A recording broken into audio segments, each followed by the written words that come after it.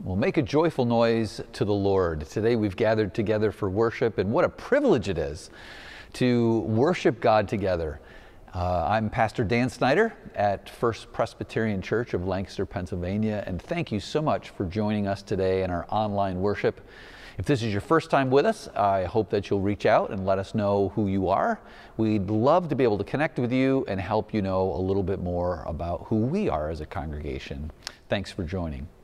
Well, the summer is a time of vacation, and this little segment is being recorded a little early because today, on August 18th, in the week of the 18th, I'm still away.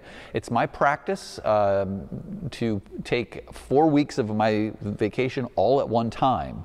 Uh, by, the, by doing that, I'm really excited to get back by the time uh, that time uh, that vacation time is done. So, uh, so today we're recording this, I'm recording this ahead of time uh, so that uh, you can hear a little bit about what's coming up and why we've chosen to do today. Andy is also away on vacation, which means that Claire and I put our heads together and thought about uh, our sermon that you have, you maybe already saw earlier in the year. We have uh, a couple of those sermons that are our favorites. This one in particular got a lot of really good response. We always enjoy preaching together, and uh, this is one of those where we shared uh, the pulpit. Um, in this sermon, you really get to hear our hearts and our passion for who we are as a congregation and uh, what it is that really makes our hearts sing. So I hope you'll enjoy this again. Um, I hope you know that you're in really good care uh, during the month of August. Uh, we've had some guest preachers, we've had some of our retired pastors on call. Uh, Pastor Claire has done a wonderful job, and uh, it's really good, good for me to belong to a, a team as strong as this one. So today, as we worship God, we, uh, we remember that God has called us as a church to be a community together, a community of joy. Our main purpose is to allow the Lord Jesus Christ to mature our hearts so that we can be those people sent out into the world to represent God, to bear the image of God, so that when people meet us, they say, That's what God must be like. And you'll hear more about that as we worship together today. So let's worship God.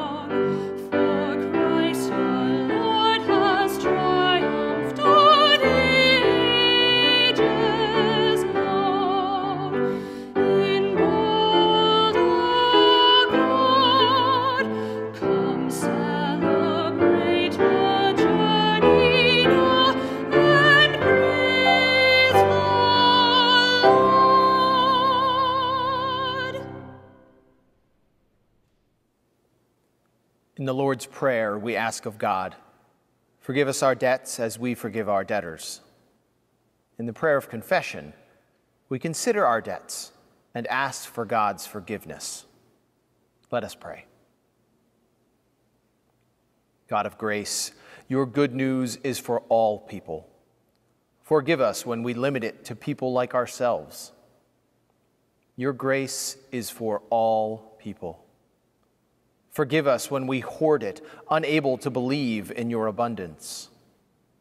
Your love is for all people. Forgive us when we ignore it, fearing that we might be unworthy of your grace. Move us to see the world as you see it, bursting at the seams with your mercy and your love.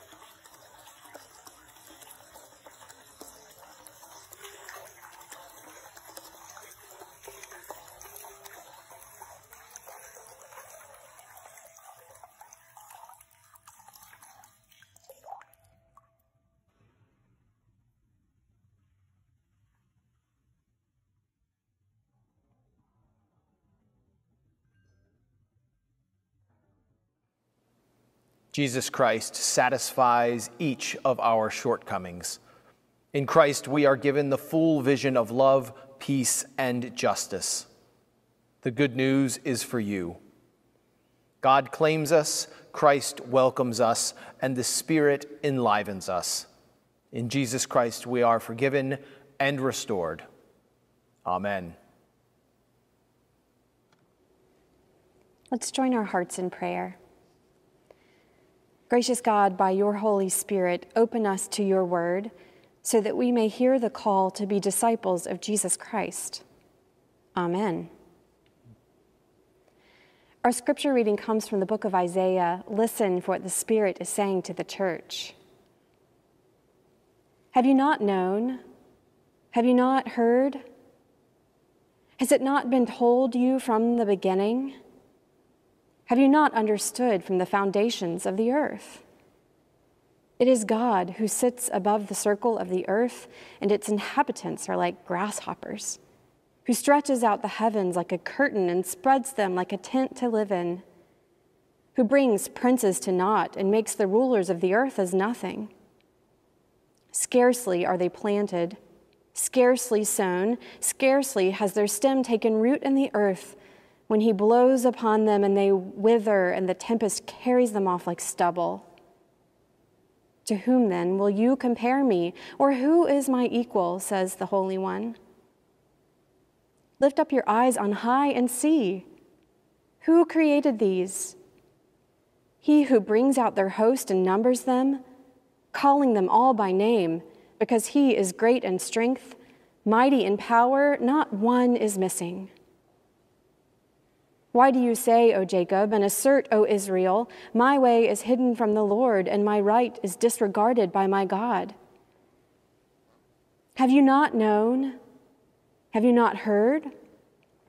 The Lord is the everlasting God, the creator of the ends of the earth. He does not faint or grow weary. His understanding is unsearchable. He gives power to the faint and strengthens the powerless. Even youths will faint and be weary, and the young will fall exhausted. But those who wait for the Lord shall renew their strength. They shall mount up with wings like eagles. They shall run and not be weary. They shall walk and not faint. This is the word of the Lord. Thanks, Thanks be, be to God. God. Comfort, oh, comfort my people, says your God.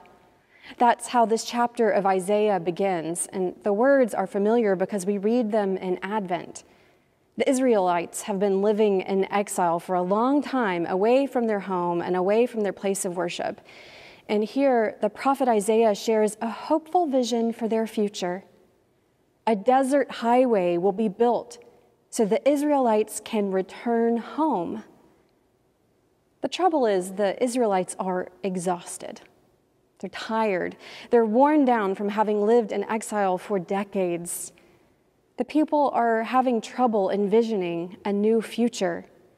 They wonder if maybe the Lord has looked over them. They wonder if maybe another God might have their best interests at heart. So the prophet Isaiah reminds the people who God is by pointing to the wonders of creation. Look to the heavens, Isaiah tells them. Look up at the sky. Do you see the sun and the stars and the moon? Are any of them missing? Have any of them floated away? No. God created the moon and every star. God named each of them. God claimed them. God will never pass over them. In the same way, God created the people of Israel. God named the people and claimed them. God will never look them over. God will never abandon them. The same is true so many generations later.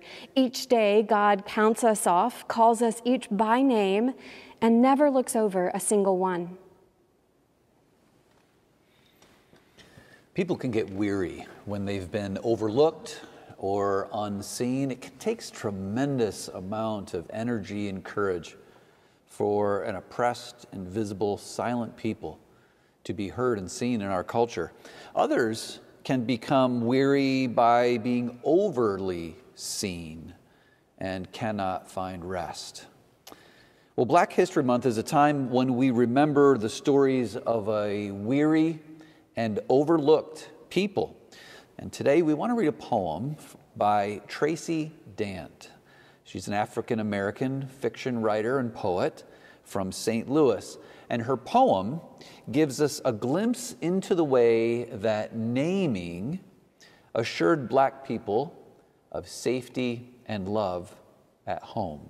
The poem is entitled A Twice Named Fam- Family by Tracy Dant. I come from a family that twice names its own one name for the world, one name for home.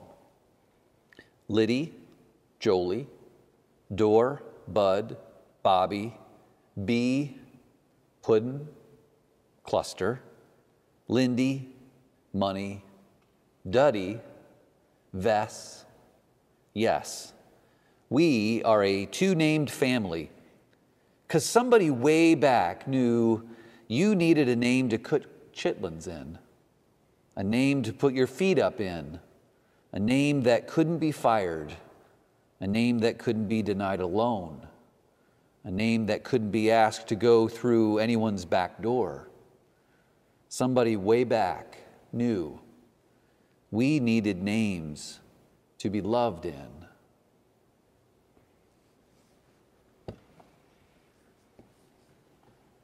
I come from a family that twice names its own one name for the world, one name for the home. One name for the world, one name for home. Liddy, Jolie, Dor, Bud, Bobby, Bee, Puddin, Cluster, Linda, Money, Daddy, Vess. Yes, we are a two name family. A two named family. Because somebody way back knew you needed a name to cook chitlins in, Knew you needed a name to cook chitlins in, a name to put your feet up in, a name that couldn't be fired, a name that couldn't be denied alone. a name that couldn't be asked to go through anyone's back door. somebody way back Somebody way back knew we needed names to be loved in. to be loved in. Well, our congregation, this church, has had at least two names that I know of. We used to be the English Presbyterian Church. It signified that the services here would be done in the English language. And then later, we were called First Presbyterian Church. As Claire and I think about our hopes and the vision of this congregation, we chose both a home name and a public name to describe our vision, a name that shapes who we are together and who we want to be for the world. I hope that our home name, our inside name, that familiar name, I hope it is Union. There are so many reasons to be divided in the world nationality and background, education, political convictions, the Chiefs or the 49ers, or maybe you're in too much despair about the Eagles to even care. There are so many reasons to be divided. But the ritual of our weekly worship points to our union. The latest edition of Presbyterian Outlook points out that churches are a place of promise and possibility. Besides faith communities, where else in our society do people of diverse political perspectives voluntarily gather?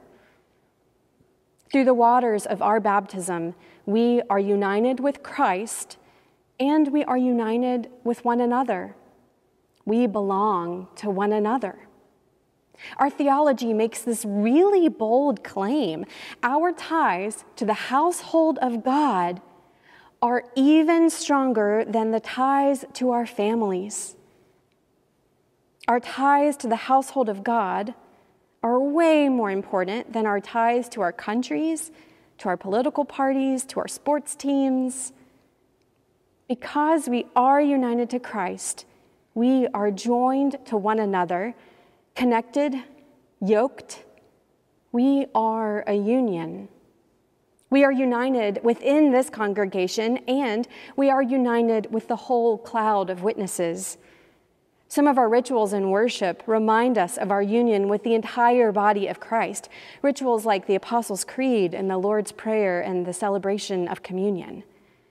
We are a union with the whole church, past and present. Our family name is Union. The name I like to think of when I think about our congregation, our home name, would be family.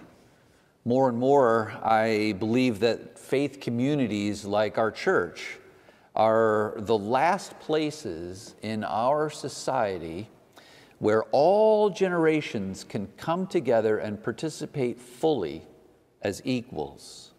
So the name I would hope would be the name for our inside would be our would be the name family. Over the past few years, I have really enjoyed watching how children are being welcomed in worship. They are not here as guests that we send away. They are allowed to wiggle and make noises that children make. I've enjoyed watching the people here in person take a deep interest in what is important to our children and just to allow them to be children. A recent story that illustrates this in such a tender way for me is the relationship that has grown between Everett and Mr. Clem. A few uh, months ago, we had a response song that we did in person that involved drums. And if you know Clem Lichty, you know that he's a drummer. And that fascinated Everett. And Everett got up the courage to come down front and meet Mr. Clem, who was very hospitable and wasn't the kind of drummer that said, Don't touch my drums, but allowed him to come over and get to know his drums. And so Everett, a few weeks ago, came running down the center aisle on his way to worship arts, and he had an orange card in his hand that we use for prayer requests. But any of you that know, that have been here in person, know that those cards are also good for doodling and writing notes. And Everett wrote a little note on the back of that orange card and handed it to Mr. Clem and gave him a hug. And the card said, Mr. Clem, you're my favorite. And then later on asked Mr. Clem, Mr. Clem, do you think we could have a play date sometime? When Clem told me this story, he said, Dan, I haven't had a play date in a long time. I don't know what we'll do. And we agreed that if it involved drums, I'm sure both Mr. Clem and Everett would have a great time together.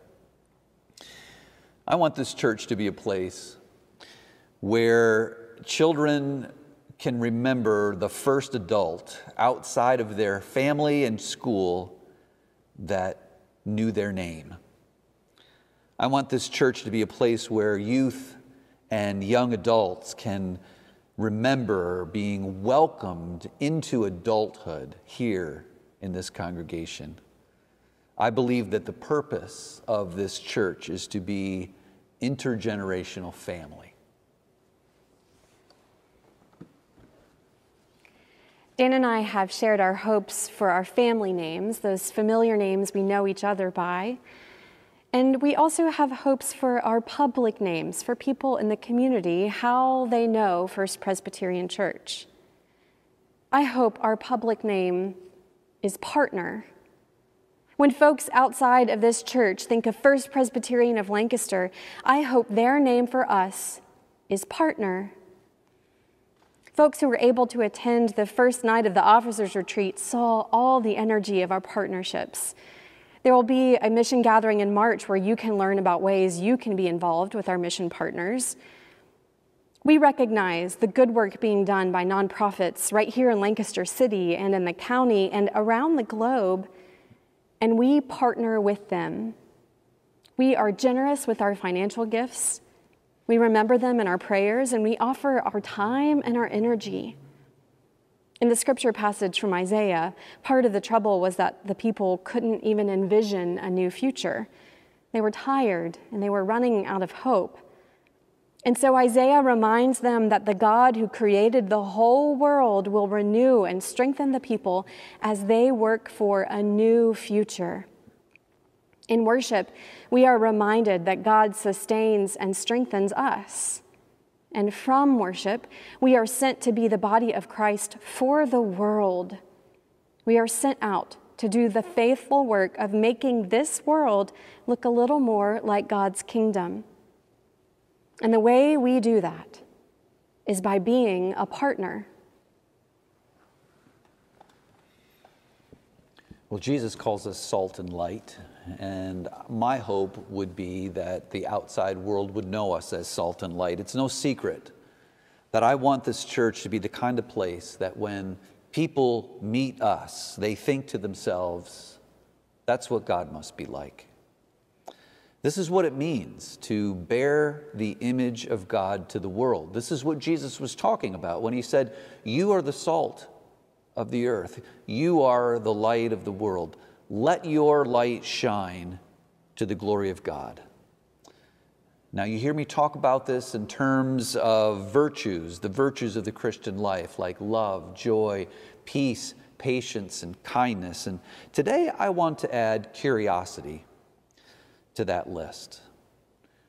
You know, God takes great interest in us. I like to imagine God as curious about who we are and what interests us and all those things that we love to do and love to talk about, even those things that we discover that are exciting to us but really boring to other people, you know what I mean.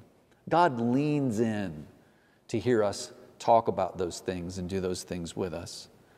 So, our curiosity is demonstrated through our questions.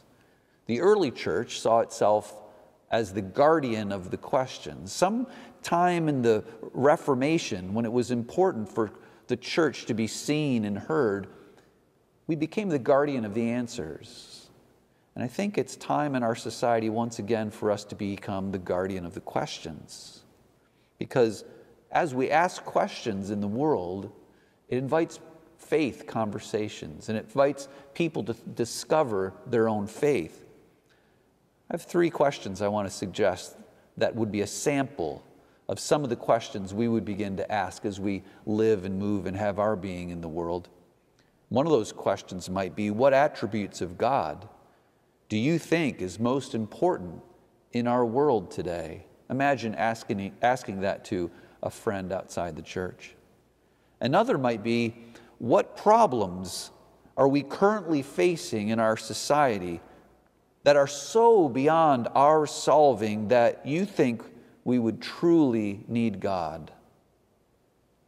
A third comes to mind when I think about our recent podcast. If you listen to our last podcast, we, uh, Rabbi Jack Paskoff told us what he thought uh, he wished Christians knew about Jews or what Christians knew about Israel.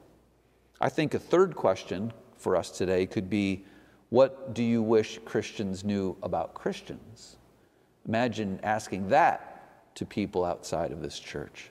Asking questions like these will shape our curiosity and they will also keep us humble.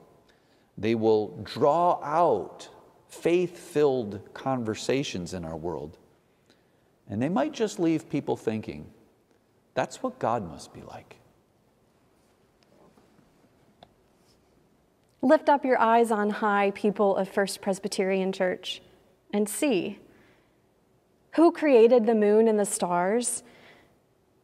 God created them and claimed them and knows them by name. God created us and claims us and knows us by our many names. First Pres, FPC, the English Presbyterian Church, Union, family, partner, salt and light. beloved. Heaven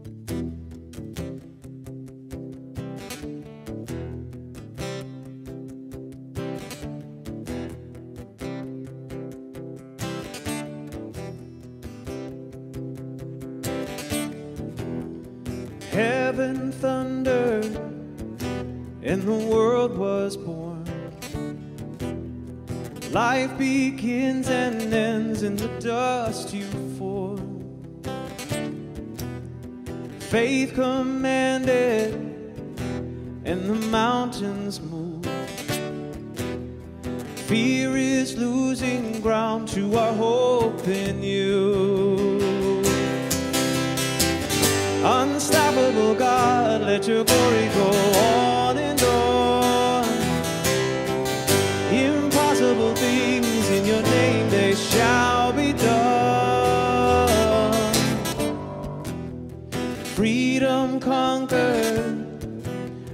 chains undone. Sin defeated, Jesus has overcome. Mercy triumphs when the third day dawned. Darkness was denied when the storm was gone. Unstoppable God, let your glory go on.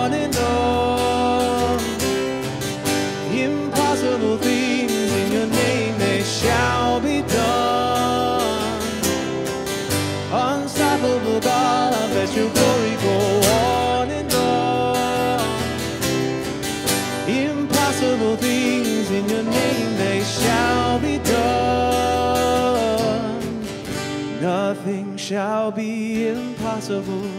Your kingdom reigns unstoppable. We'll shout your praise forevermore. Jesus, our God, unstoppable. Nothing shall be impossible. Your kingdom reigns unstoppable. We'll shout your praise forevermore. Jesus, our God, unstoppable. Nothing shall be Your kingdom reigns unstoppable. We'll shout your praise forevermore. Jesus, our God,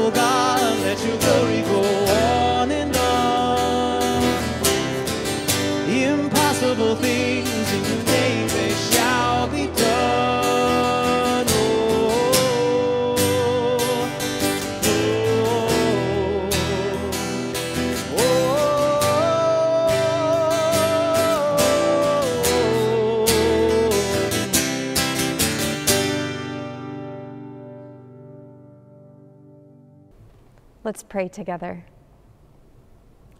God of grace, you delight in creating beauty. You delight in relationships of love and in teaching us your will and your ways. We come before you with the prayers in our hearts, and we offer our very hearts to you that we may live according to your will. As we look to a new school year, we offer our thanksgiving for wonder and for wisdom, for humor, and for encouragement. We pray for children all around the globe, and we offer you our gratitude for their playfulness, for their curiosity, and for their joy. We pray for roofs over the heads of children and for good food on their tables. We pray for true friendships and for gracious adults who protect them. God, grant that all children might grow in your love. We pray for teenagers and for young adults. We offer you our thanksgiving for the ways the young expand boundaries and question authority. We offer our gratitude for the ways they encourage all adults to serious reflection. We thank you for the questions they have and for the gifts you are nurturing in them. We pray that you would give teens and young adults courage as they engage in critical learning and discovery. In their learning, help them to identify the multitude of ways that you are at work in the world. God, we pray for those who you have called to instruct and to shape our children as they grow and mature. We pray for those called to teach, lead, coach, and mentor. We pray for administrators, bus drivers, and cafeteria workers, for custodians and coaches, for counselors and school board members. Grant your wisdom and generous spirit. Inspire them with creativity and commitment. Provide opportunities for their refreshment and renewal, and help us to appreciate their efforts and to treat them with respect. God of all ages, just as we pray for children, we also pray for adults. Guide us as we endeavor to lead faithful lives in our homes and in our workplaces. Help us to admire the imagination of children. Help us to learn from the resilience of teenagers. Help us to listen to the wisdom of young adults. God, even when we are no longer students, guide us to keep learning, to keep learning about your creation, to keep learning about your word, to keep learning about your love and faithfulness. And through our growth, Enable us to share your wisdom and love in word and by example. God of grace, remind us that we are one community of your beloved, responsible for one another and gifted with each other. Hear our prayers, for we ask them in the name of Jesus Christ, who taught us to pray together. Our Father, who art in heaven, hallowed be thy name. Thy kingdom come, thy will be done on earth as it is in heaven. Give us this day our daily bread, and forgive us our debts as we forgive our debtors. And lead us not into temptation, but deliver us from evil. For thine is the kingdom, and the power, and the glory forever. Amen.